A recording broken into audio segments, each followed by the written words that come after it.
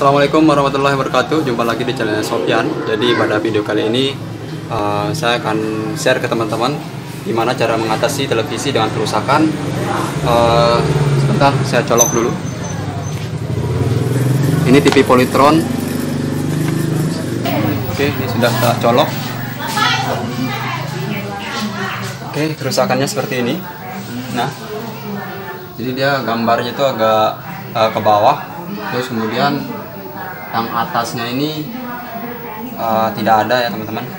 Jadi ini kerusakan ada di sekitar bagian uh, vertikalnya ya. Sekarang kita akan coba bongkar dulu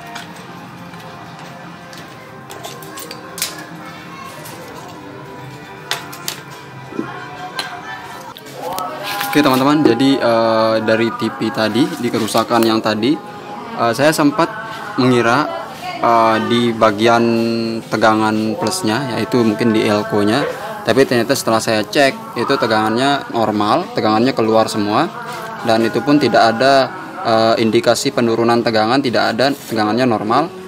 Lalu kemudian saya coba uh, tidak mikir lama langsung ganti IC vertikal dan ternyata teman-teman alhamdulillah uh, jadi ya gambarnya naik kita akan coba colok dulu. Saya tidak sempat ke mana-mana dulu cuman saya langsung di uh, ganti elko langsung ke vertikal.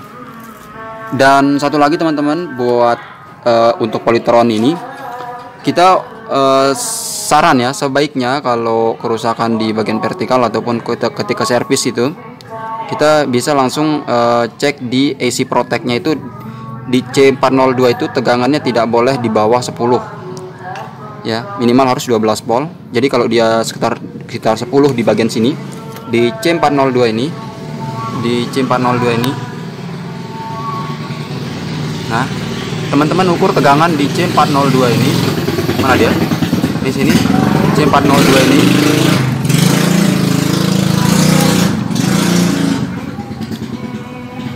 Dan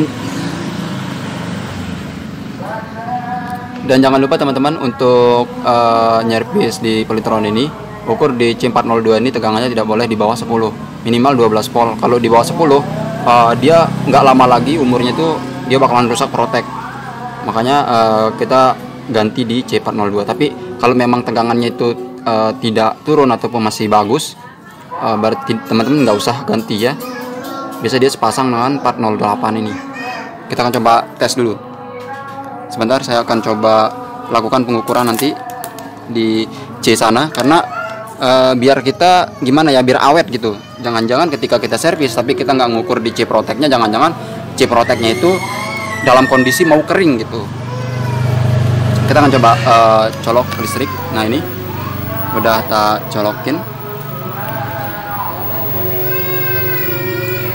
Nah di sana gambarnya uh, udah naik teman-teman udah penuh ya kita akan coba cek secara keseluruhan Oke, di sini tidak ada mengindikasikan kerusakan elko ya. Ini masih mulus. Yang merah itu hanya di bagian pit, uh, dual, uh, di gausingnya belum kita pasang ya. Kita akan coba dulu. Kita ukur di C4002 ini. Posisi di kali 50. Kita cek. Bentar. Sorry, tegangan min. Harusnya gue pakai kita ukur di sini. Ini menggunakan tegangan tegangan min ya.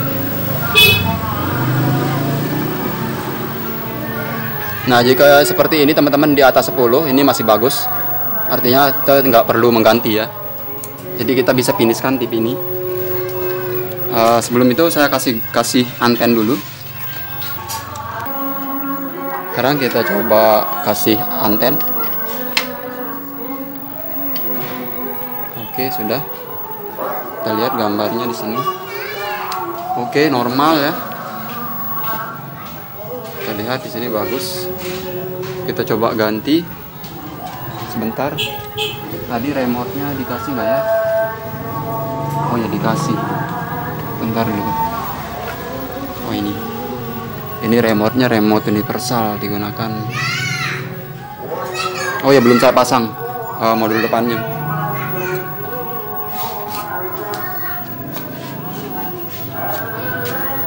Oke, okay, mungkin uh, saya coba. Oke, okay, seperti biasa jadi di terakhir penyerpisan itu teman-teman jadi taruh ya.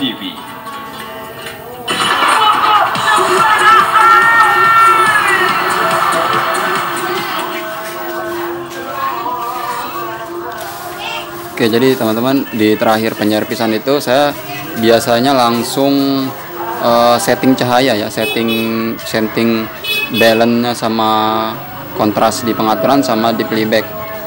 Ini di posisi 10 ini di posisi 0 uh, eh, infrarednya on temnya di tengah oke. Okay.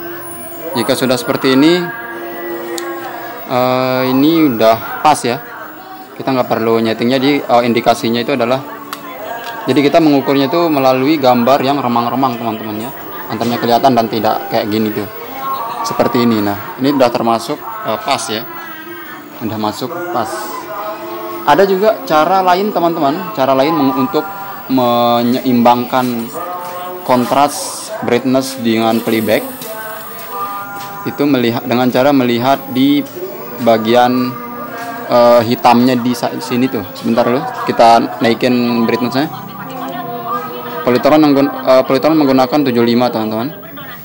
75 normalnya ya.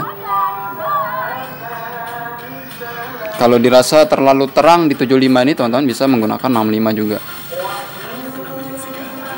Oke colornya 50 serpennya tuh kita gunakan 50 tengah-tengah oke.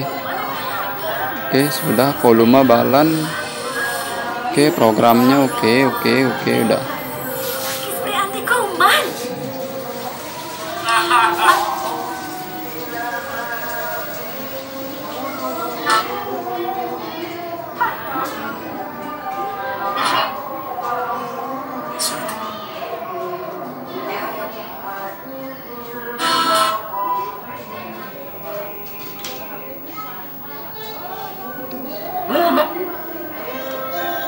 Oke teman-teman sekian dulu dari channel saya.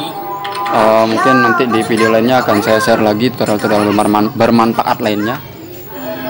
Oke uh, Assalamualaikum warahmatullahi wabarakatuh. Terima kasih sudah nonton video ini. Jangan lupa subscribe, like, and share buat teman-teman. Uh, Dan juga jangan lupa tombol loncengnya buat teman-teman Biar nanti kalau saya mengupload video-video terbaru Dapat informasi-informasi dari saya juga. Oke terima kasih. Assalamualaikum warahmatullahi wabarakatuh